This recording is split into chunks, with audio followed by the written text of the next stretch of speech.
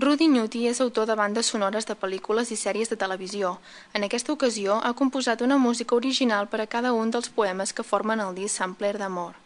Una selecció de Domènec Duessa interpretats per personatges com Pascual Maragall, Dani Nelo o Carla Santos. Vino a verme en el estudio donde yo trabajo normalmente y, y pensamos a, a, mirar material que se había editado hasta ahora sobre poesía en, eh, grabada. Y lo que nos dimos cuenta, hay muchas cosas evidentemente, pero quizá faltaba alguna cosa más donde eh, algún producto donde la música destacara un poco más, donde el discurso musical no fuera solo un background debajo de la poesía, pero fuera algo que aportara eh, un significado a todo esto. Decidimos que para poder apoyarlo podíamos contar, teníamos que contar con, eh, con intérpretes una mica, un, poco mediáticos, una mica, un poco mediáticos, y, pero que nos interesaran a nosotros. Y ahí nos sentamos y empezamos a hacer un, un listado de las personas que a nosotros nos hubiera gustado ver interpretar poesía. De 15 perspectives amoroses, Uh, I el que vam intentar és, uh, com ella ha dit molt bé, que la música aquí no tingui un paper d'embolcall, no tingui un paper d'acompanyament simplement, sinó que uh, bueno, el poder col·laborar amb aquest senyor pues, uh, com a músic inspirat, que la música uh, pogués fins i tot redimensionar una mica les poesies. Llavors es tractaria de després traslladar aquests, aquests textos poètics uh, musicats amb personatges més o menys coneguts que podrien crear una certa curiositat amb el públic i eh, reforçar la idea de que la poesia no sols pot ser llegida, eh, la gent que normalment no està molt familiaritzada amb, el, bueno, amb la poesia perquè el suport del llibre no el fa servir, no, no li és familiar, no li és proper, doncs a través d'aquest tractament, potser una mica híbrid, una mica pels puristes no massa, no massa, bueno, no ho puguin celebrar massa, però sí que apropar la poesia, en aquest cas la poesia amorosa catalana de poetes contemporanis, a gent que normalment no, no,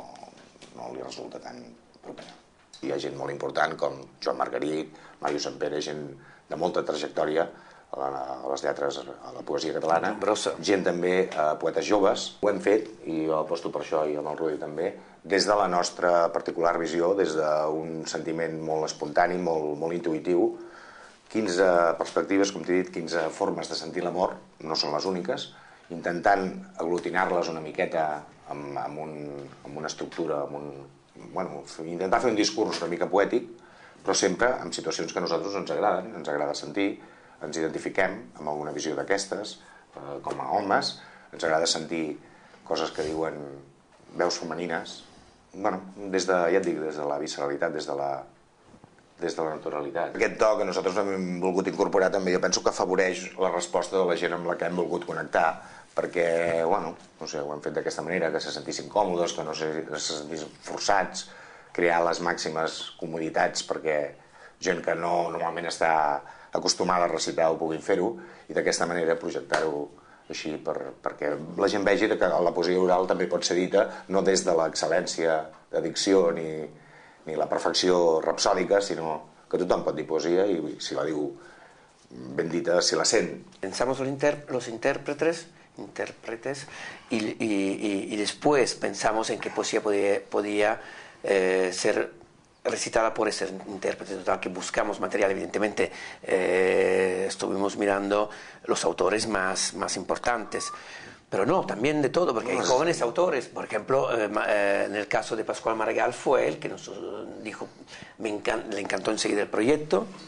le encantó quizá el tema de, de poesía, de poesía de amor, de poesía en, en catalán, y quizá también que íbamos eh, sin detrás ninguna estructura grande que pudiera, bueno, manipular un poco el, el, todo el discurso. Y él dijo, yo me, me encantaría poder eh, recitar Shakespeare.